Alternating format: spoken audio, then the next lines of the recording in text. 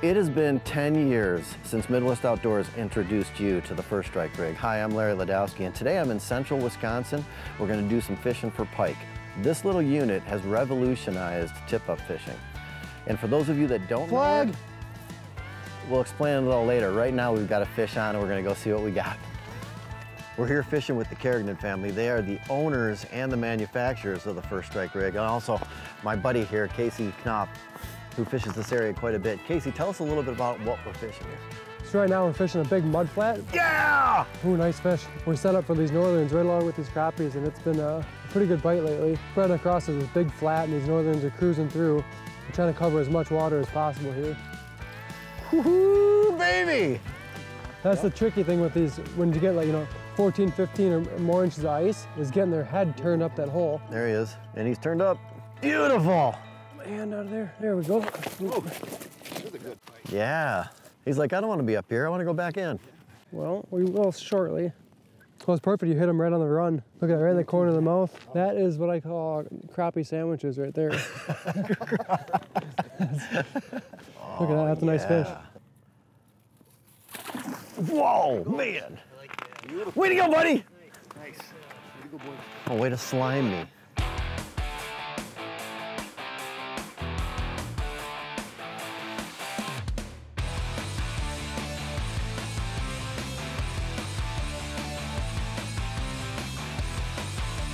Hey, there you go. There you go, yeah. The pike are roaming around eating these things. These things are eating bugs and minnows in the water, but we actually also have shiner minnows that we're kind of trying to match the hatch on for the pike. So it's kind of like we're after both Flag. species. Oh yeah, it's there. Unbelievable. We have what, 15, 16 of these out and it's been the same hole every time? There you go. Oh yeah. Nice. There we go. Hang on to them. When you're on the ice, it's such more, so much, so much more of a social aspect. Five guys around this one hole catching this one fish, and we're having a good time just doing it on the ice. Oh yes! Way to go there! Hey. Nice job. Yes. Look at that corner of the mouth again. Beautiful. Very healthy fish here. Kind of looks like us, huh? you know, so I mentioned the 10 years too, and what you do is when, when you go out fishing with people over the last, over 10 years, you become their friends. Sometimes, I mean, I even consider these guys part of my family, and it's, it's been all ice fishing these past 10 years, and we've had some great trips. We have. We got some a lot of great memories as we recap every time we do this. It's amazing the stories we put together together and the friendships. We, it's amazing what we put together.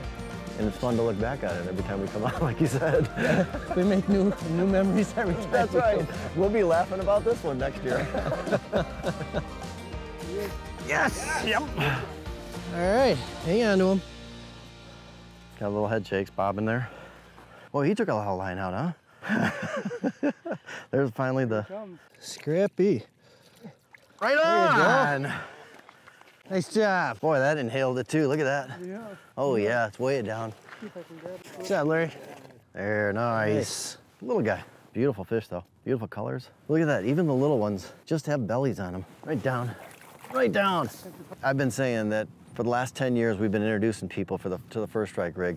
But for those of them ha that haven't seen it, why don't you tell us a little about it? The, the unique thing is that it turns any rod into a tip up, right? Absolutely. It gives you the range you would get with a tip up with all the benefits of using a rod and a reel.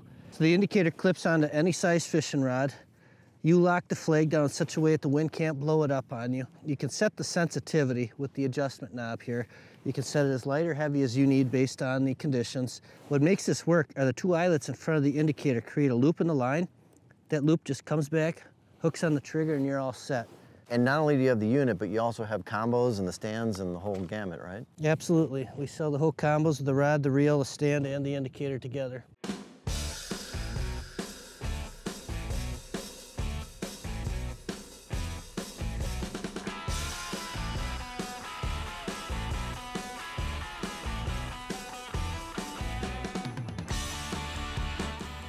Yeah! We got a fish on. Nice job. I said just grab it before he drops it again.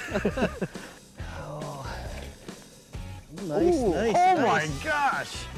Oh Yeah. yeah. Beautiful. Ooh. Oh, look at him go. Yeah, it came right up to the hole and it was, it's pretty fat. Yeah. Oh, you Oh, can't get yeah. You got him hooked in the back corner of that mouth, so it's tough to turn that beak up, you know? Oh, yeah! Woo! That's a good one. Oh, nice. Man. Good job. Beautiful Like fish. 30, 32. Gorgeous fish, Case. Yeah, but a lot of heft for 30, 32. Look at the belly on him. No kidding. It's like a two by, it's more than a two by four. All those crappies right there.